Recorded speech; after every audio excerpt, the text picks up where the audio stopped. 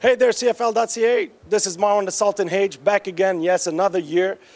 After being kicked out of the media breakfast in the past years for making too much noise and eating too much food, the league decided to invite us to an even better event this year. We're here at the Gibson's Finest, and we're gonna meet the award finalists. We're gonna talk to them. We're gonna try to drink their booze and try to get kicked out of this one. So next year, the league will have nowhere to invite me to. So follow me. We're gonna have a lot of fun here today.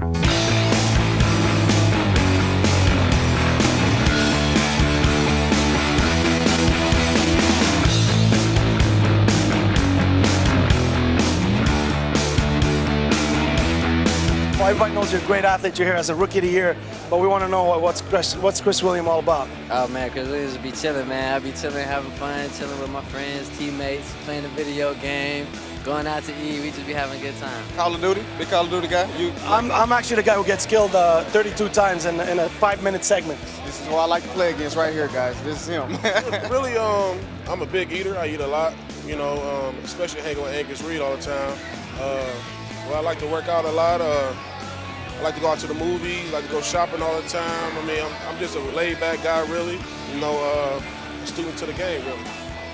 I see he's still young. He's giving us good answer. You have your speech ready if you win there tonight. I do. I got a little speech ready. We're ready to go. Am I on that on that list? Uh, of course. Who else are you thinking? We're thanking the entire Ticats organization for believing in me, having a wonderful. Oh, that's a rookie. coaches. Oh, that's a rookie. Yeah. Put that. Come on down.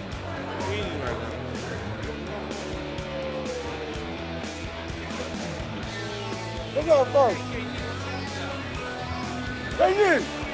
after you took my shrimp, that's fighting. Those are fighting words. These aren't fighting When you take a man's food, but you better be glad that I love you because you stand in front of me and block for me. You know, I've been around this league, and everybody knows that my strength is my speed.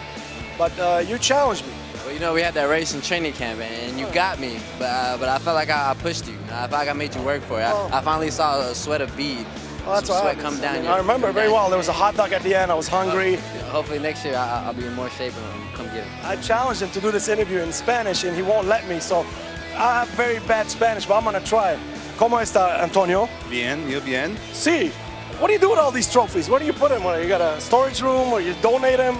No, I think my kids have fun with them. They decorate them pretty good. It's um I got uh, a lot of um, stickers of uh, Winnie the Pooh and uh, and some other Disney characters on my trophies. The hottest man in the CFL right here. We got him. We got him. Travis Lulay. How you doing?